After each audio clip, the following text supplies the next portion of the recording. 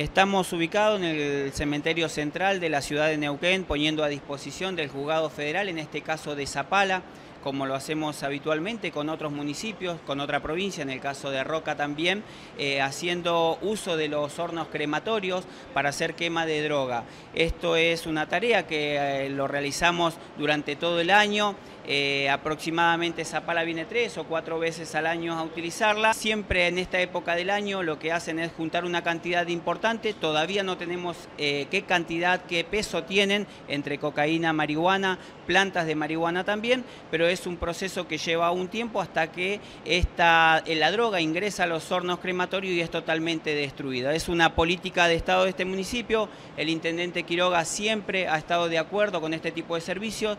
En este día se suspende todo lo que es cremación hacia el contribuyente de la ciudad de Neuquén y se pone a disposición, en este caso, del juzgado federal. A partir de que se rompió el horno pirolítico de la municipalidad de Zapala, hemos tenido que pedirle a la municipalidad de Neuquén que gentilmente nos preste colaboración para poder destruir eh, incinerar, como dice el artículo 30 de la ley de estupefacientes, la 23737, todas eh, las sustancias estupefacientes que secuestramos en distintas causas. Eh, en esta oportunidad hemos venido ya ahora a fin de año y estamos quemando 250 causas, lo, lo, secuestrado en 250 causas. Son operativos de control que realiza tanto Gendarmería como la Policía de la provincia de Neuquén y Federal en toda la jurisdicción del juego de Zapala, que es muy grande.